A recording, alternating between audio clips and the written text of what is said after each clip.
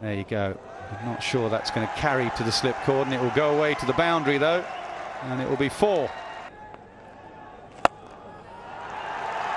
Yeah, good shot.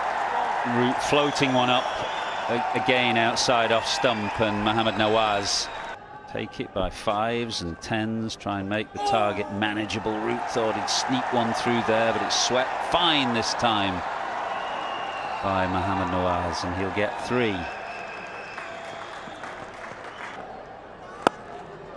Driven firmly over pitch by Leach. Lovely shot from Mohammad Nawaz.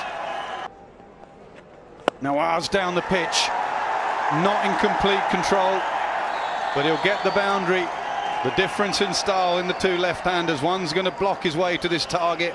One's going to try and smash it. Slapped through the covers. Game on here. The target now under 100. It's into double figures. Down the pitch. That was a beautiful shot. That wasn't a flick of the wrist. It was just a punch, and it was a punch for four.